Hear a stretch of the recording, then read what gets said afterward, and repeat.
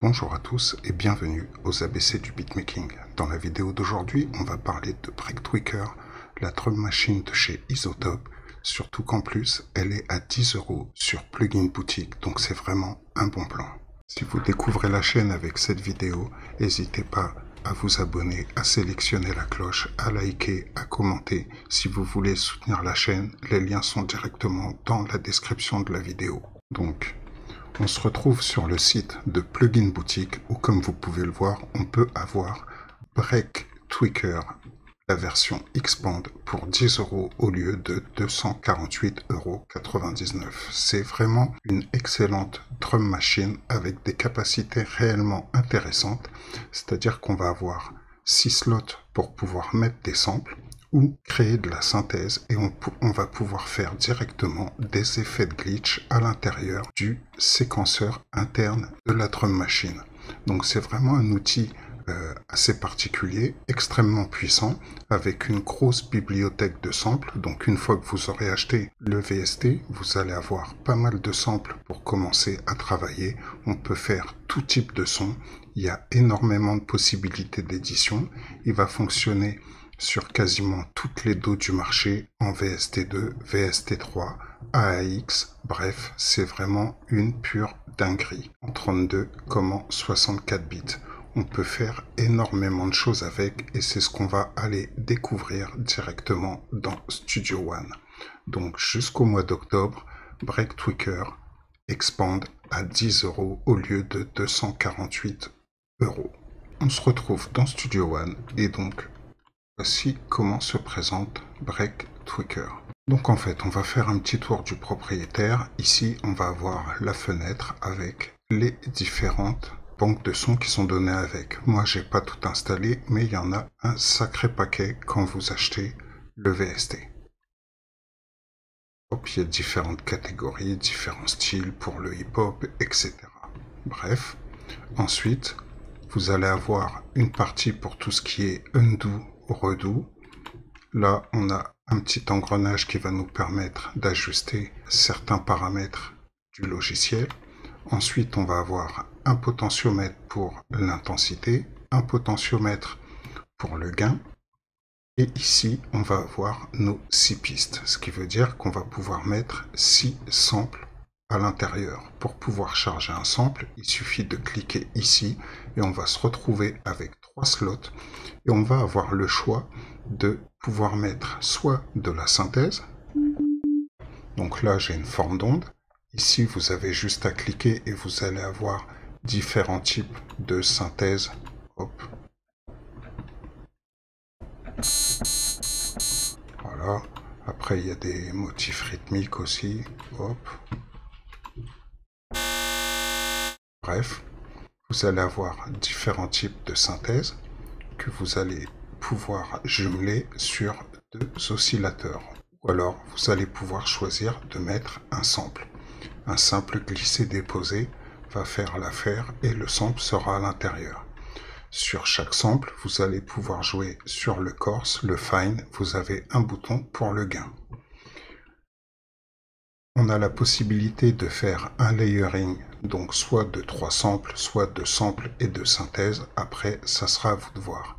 Sur chacun des différents slots, vous allez avoir deux modules de distorsion que vous allez pouvoir mettre en fonction avec des paramètres pour les automations, la mount, donc pour pouvoir doser le son avec ou sans l'effet, et le tone.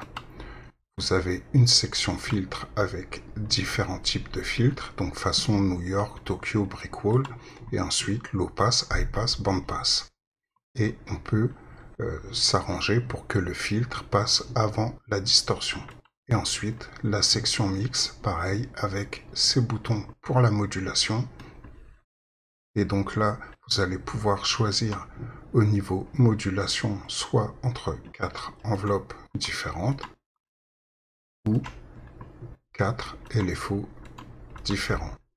En cliquant directement ici, vous allez pouvoir changer la waveform ou sinon, hop, en faisant comme ça avec le slider. Voilà.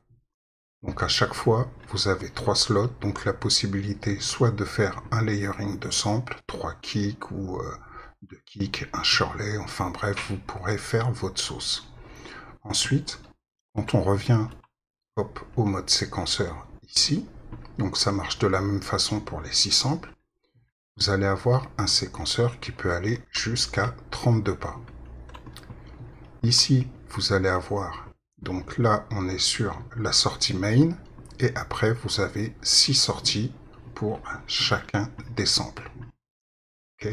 Donc sur chaque sample, vous allez pouvoir affecter une sortie différente.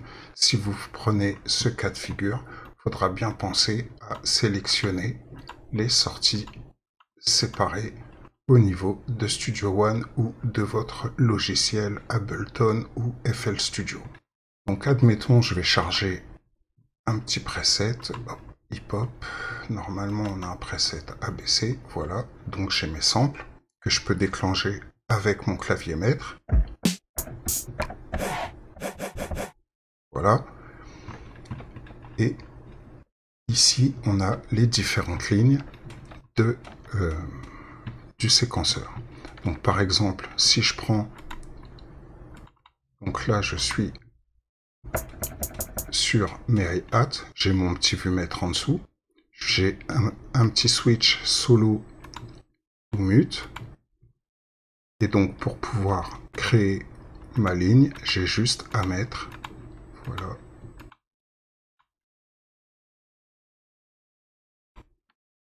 des pas directement sur la ligne de séquence du sample intéressé.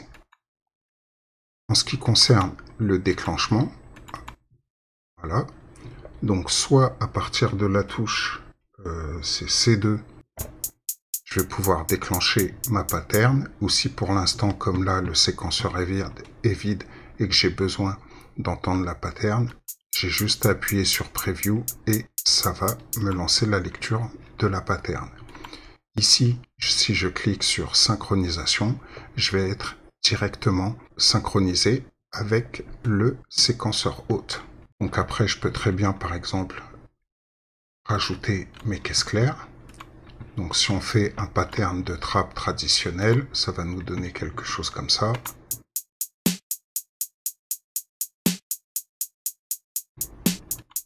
Hop, si je fais, j'ai envie de mettre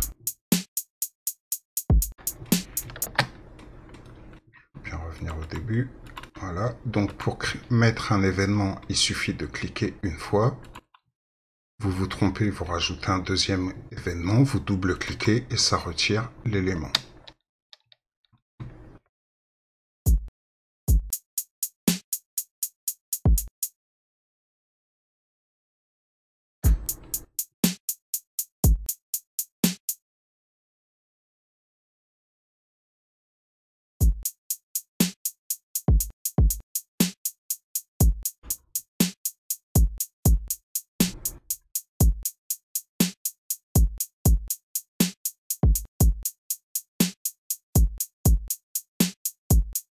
Jusqu'à là, rien de bien compliqué. Maintenant, comme vous voyez, à chaque fois que j'ajoute un élément, ici j'ai une fenêtre micro-edit qui apparaît. Et à partir de cette fenêtre, suivant les samples que je vais utiliser, je vais pouvoir créer des choses vraiment très particulières, puisqu'ici, on va pouvoir créer des effets de glitch. Donc par exemple, admettons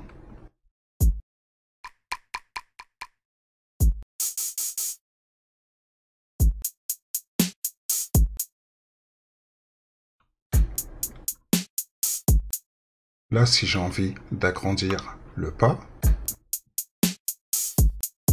voilà. Ici, je peux très bien décider, donc là, je suis en division, je peux me mettre en pitch, en time ou en speed. Je vais rester en division et je vais créer des divisions sur mon sample de OpenHot.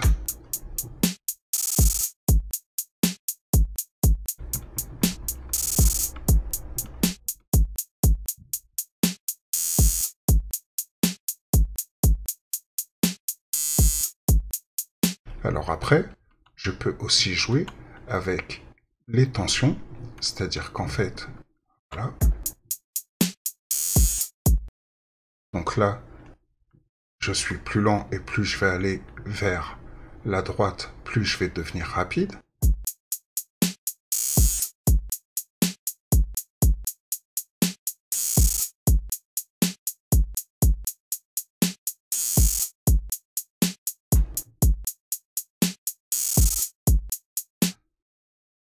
J'ai un, un potentiomètre rotation.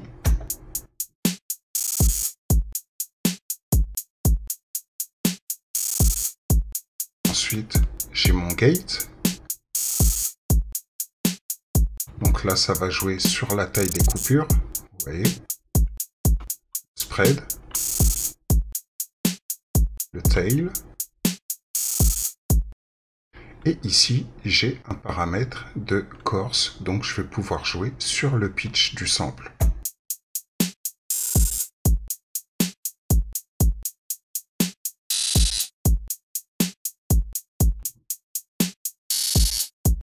Ici, j'ai mon fade que je vais pouvoir, sur lequel je vais pouvoir jouer. Donc faire un fade in ou un fade out. Voilà. Et ici, j'ai des effets. Donc digital, raw, aliasing, chorus, low pass et high pass filter.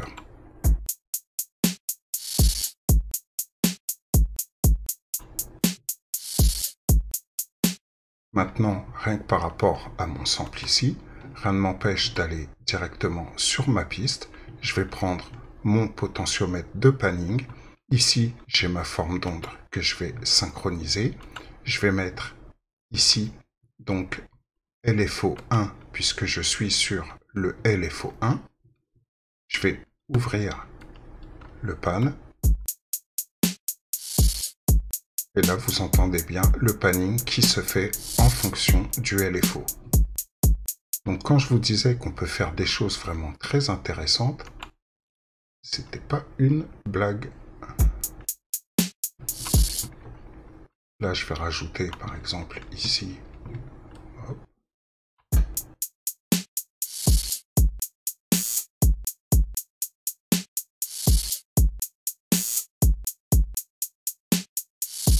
Je peux remettre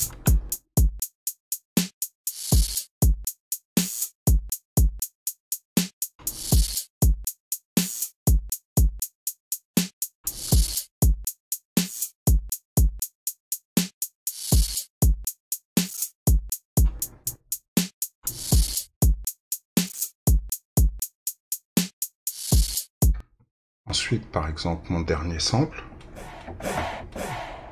Donc là, je vais créer, va me donner un petit truc comme ça. Hop.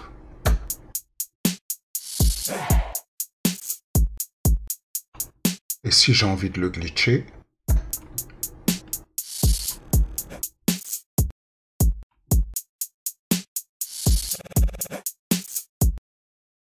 Donc là, je vais jouer sur la tension.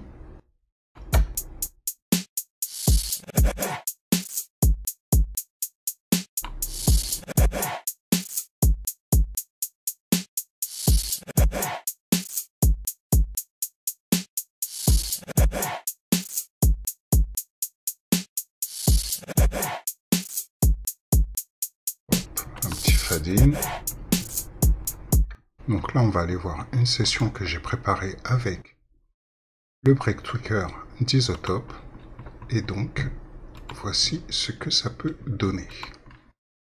Donc ce que j'ai fait, j'ai utilisé deux instances du VST, une pour mes batteries et une pour ajouter un peu de texture au drum. Donc on va s'écouter le morceau, enfin la boucle dans son intégralité et ensuite on va décomposer comment j'ai pu faire ça.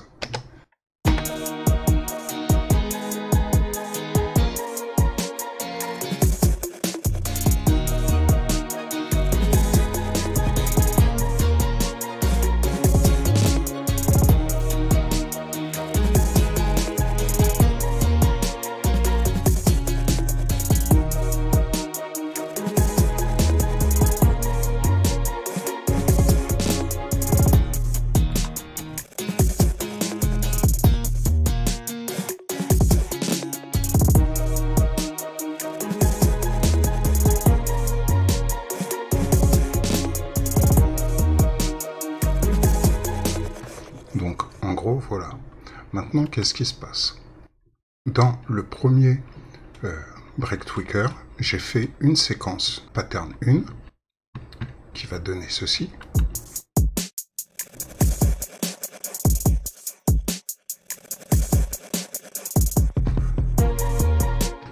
Bien sûr, j'ai utilisé les différentes sorties séparées, donc 1, 2, 3, 4, 5 et 6, pour pouvoir avoir les pistes individuelles au niveau de ma console. Ensuite, dans le second, j'ai réutilisé une autre instance, mais cette fois, je vais faire jouer uniquement ceci. Et donc, sur la sortie générale, j'ai les rôles de caisse claire et l'espèce de petit... Euh, petit homme sur lequel j'ai tout simplement joué sur la hauteur en faisant différents types de glitch. Et donc quand on écoute les deux,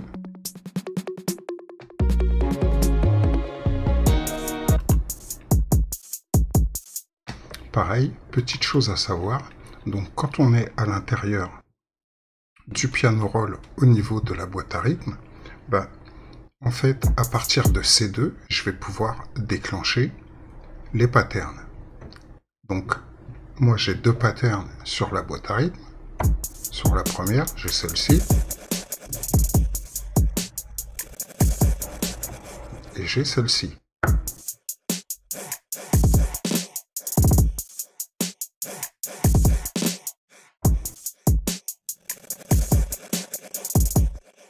C'est comme on veut, soit on peut faire jouer, utiliser le séquenceur interne de, de Studio One pour pouvoir faire ses drums ou utiliser le séquenceur à pattern du logiciel. Là, vu que je voulais vous montrer les possibilités du, du VST, j'ai préféré utiliser directement le séquenceur à pattern. Ce qui fait que dans mes clips MIDI, ben, à chaque fois, sur tant de mesures, j'ai qu'une seule note qui joue puisque ça me déclenche directement, comme vous pouvez voir,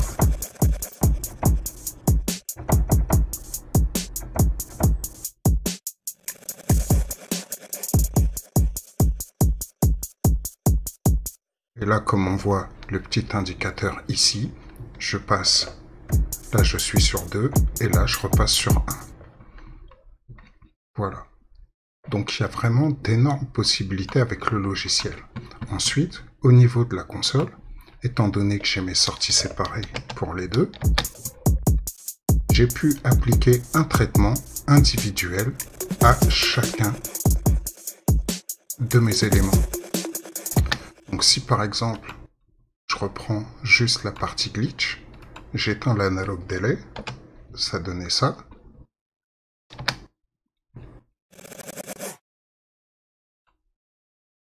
Si je le rallume,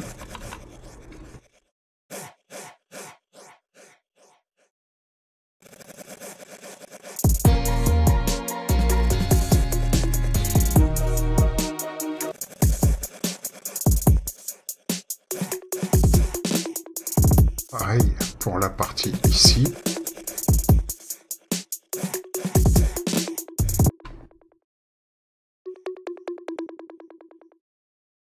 J'ai utilisé une autre instance d'analogue delay.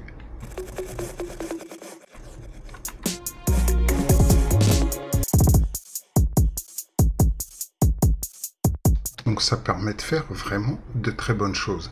Après, pour la 808, j'ai utilisé euh, directement 808 Studio 2 au niveau effet pour euh, rajouter de la sub correcte et pouvoir euh, rajouter de la saturation j'ai utilisé le sub-bass Docteur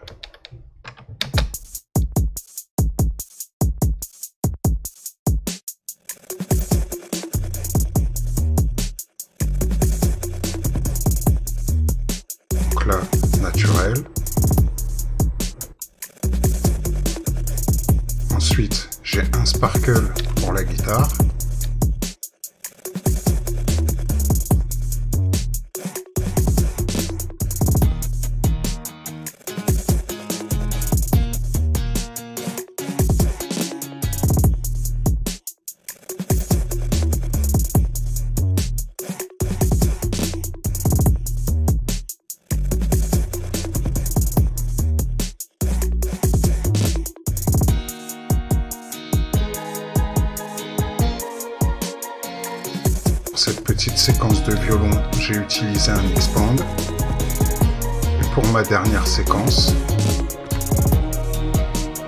un impact.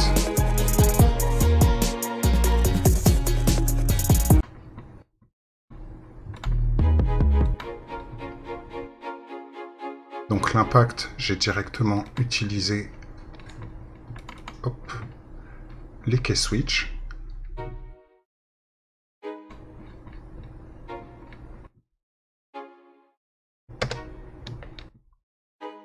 On arrive là.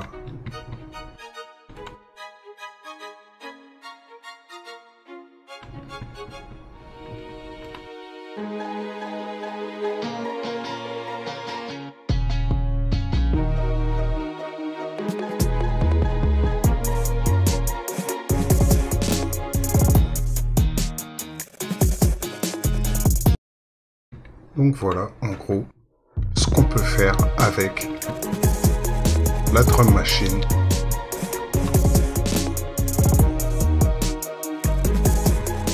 Isotope Break Tweaker.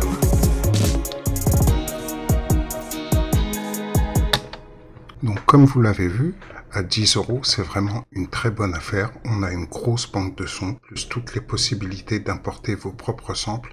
Il y a largement de quoi faire. Sorties séparées, des possibilités de glitch. Bref, on peut faire énormément de choses. C'est vraiment très pratique, très fonctionnel.